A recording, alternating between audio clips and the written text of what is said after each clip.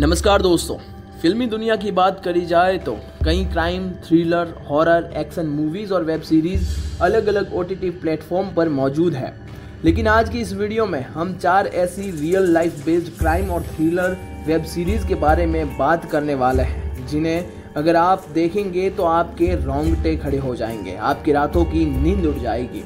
तो बिना time waste किए हम वेब सीरीज़ के बारे में जानते हैं। नंबर वन दहाड़ दोस्तों, ये वेब सीरीज़ कर्नाटका के खूंखार और खतरनाक साइको किलर के ऊपर बेस्ड है।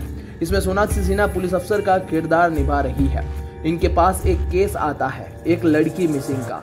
लेकिन जब वो इस केस को लेकर डीप में जाती है तो पता चलता है कि एक नहीं, बल्कि दर्जनों लड़कियाँ गायब है और इन सभी लड़कियों को मारा गया था। दोस्तों, ये वेब सीरीज़ जो है, ये काफ़ी खतरनाक है। इसको आप एक बार आपको देखना चाहिए। Number two Delhi crime. साल 2019 में आई इस वेब सीरीज़, दिल्ली क्राइम साल 2012 में हुए दिल्ली गैंगरेप और हत्या की कहानी दर्शाती है।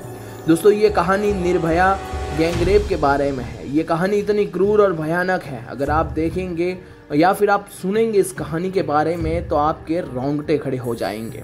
Number three, the Talwars behind close doors. दोस्तों, ये वेब सीरीज़ जो है, ये भारत के सबसे बड़े हत्याकांड के ऊपर बनाई गई है। साल 2008 में नोएडा में दो हत्याकांड हुए थे, जिसे आरुषि हेमराज हत्याकांड नाम से जाना जाता है। तेरह साल की आरुषि तलवार और उनके घर के नौकर 45 साल के हेमराज की हत्या कर दी गई थी। दोस्तों, इस वेब सीरीज़ में इनकी कहानी बताई गई है। Number four, curry and cyanide, the Jolly Joseph case. साल 2019 में केरल के कोजिकोड में जॉली जोसेफ नाम की एक महिला का एएसआईटी की टीम ने गिरफ़्तार कर लिया था। इस महिला पर अपने ही परिवार के छह सदस्यों की रहस्यमयी तरीके से हत्या करने का आरोप था। दोस्तों, ये जो वेब सीरीज़ है, ये काफ़ी भयानक और ख़तरनाक है।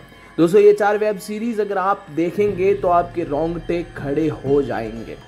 तो आप इन वेब सीरीज़ को अगर आपने देख रखी है या फिर देखने का प्लान कर रहे हैं तो एक बार ज़रूर कमेंट करें। तो दोस्तों, आज के लिए इतना ही। अगले वीडियो में फिर मिलेंगे। तब तक के लिए जय हिंद, भारत माता की जय।